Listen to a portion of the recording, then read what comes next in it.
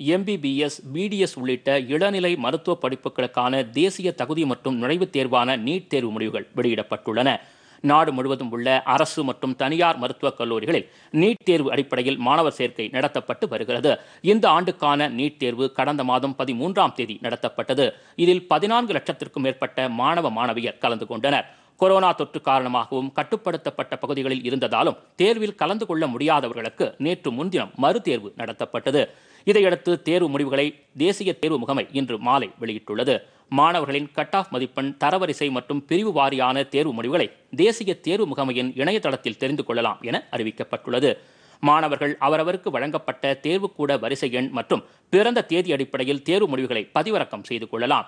இதையடுத்து மாணவர் சேர்க்கை பணிகள் விரைவில் தொடங்கும் என எதிர்பார்க்கப்படுகிறது. இதற்கிடையில் தமிழகத்தில் மருத்துவ படிப்பில் அரசு பள்ளி மாணவர்களுக்கு ஏழரை சதவீதம் உள் ஒதுக்கீடு வழங்கும் சட்டத்திற்கு மாநில ஆளுநர் இன்னும் ஒப்புதல் அளிக்கும் வரை இந்த ஆண்டு மருத்துவ மாணவர் சேர்க்கை கலந்தாய்வு நடைபெறாது என்று தமிழக அரசு குறிப்பிட்டுள்ளது.